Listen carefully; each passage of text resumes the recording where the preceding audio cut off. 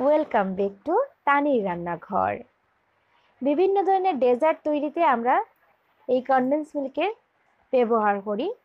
তো বাইরে কিনতে গেলে অনেক দাম, তো ভাবলাম খুব অল্প জিনিস দিয়া, অল্প টাকা খরচ কইরা আমি ঘরে হোমমেড কনডেন্স মিল্ক বানিয়ে আপনারা দেখাইমু। তো চলুন দেখি আজকে কীরকম বানানি যায়। আর খুব ইজিভাবে বেশি সময় লাগতো না, অল্প সময়ের কাজ। তার লেগে প্রথমে আমি কড়াই বয়াই দিলাম।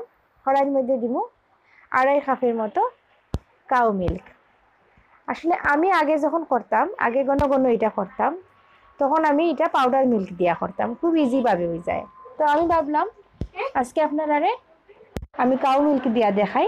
এটা আসলে এটা একটু সময় লাগে আর কি। আর পাউডার মিল্ক দিয়া করলে যেমন খুব তাড়াতাড়ি হয়ে যায়, যেহেতু জিনিসটা গণ থাকে।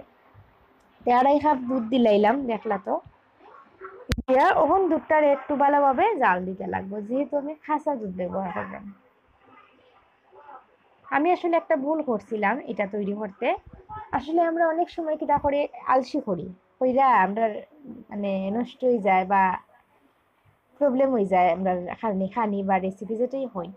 আমি এরকম একটু আলসি করছিলাম, কইরা আমার একটু স্বাদে কোনো এর ফের হয়েছে না। মানে দেখতে আর কি একটু সমস্যা হয়ে গেছে। আমি কইমু আমি কি ভুল করছি। অবশ্যই আপনারা এটা করতে দিতাম না আমি। তখন এক কাপ চিনি দিলাম। প্রথম আধা কাপ দিছি, পরে আরও আধা কাপ। এক কাপের মতো চিনি ব্যবহার করছি। আপনারা জানেন আমি একটু চিনি কম খাই। তা আপনারা চাইলে এখানে দেড় কাপের মতো চিনি ব্যবহার করতে পারবা।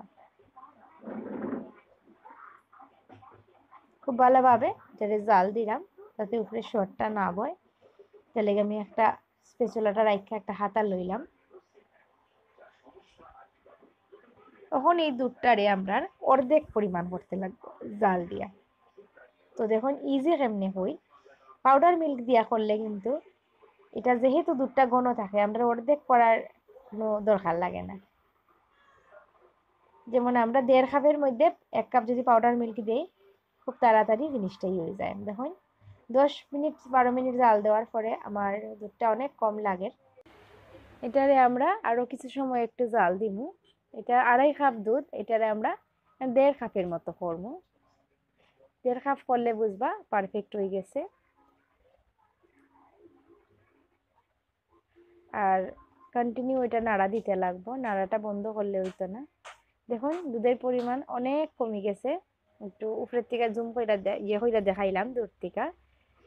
যাতে আপনারা বুঝুন, দেখুন কড়াইয়ের উপরে কিন্তু আসতে আরও অনেক উপরে। দাগটা দেখে হয়তো বুঝরা।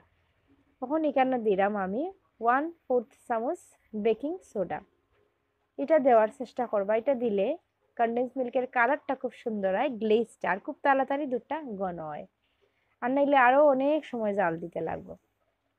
দেওয়ার পরে আমি এটারে আরও সাত আট মিনিটের মতো একটু জাল দিব কম আছে।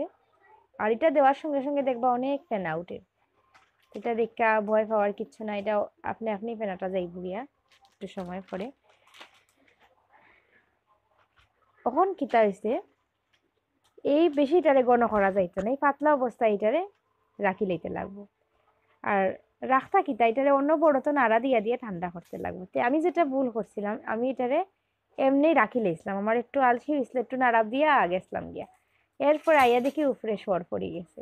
সর পড়ে যাওয়ায় এটার মানে দেখতে একটু অন্যরকম লাগে। মানে উপরের সরটা বুঝরাতে ব্যাপারটা।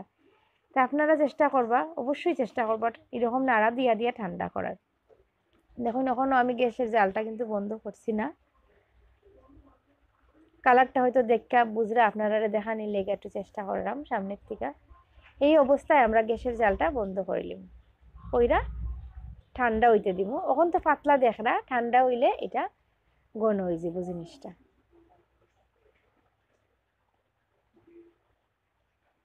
দেখুন, আমরা কন্ডেন্স মিল্ক ঠান্ডা হয়ে গেছে।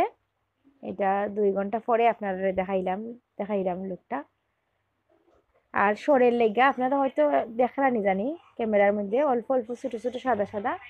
এটা হইল সরে, যে উপরে যে সর পড়ছিল এটার লেগা।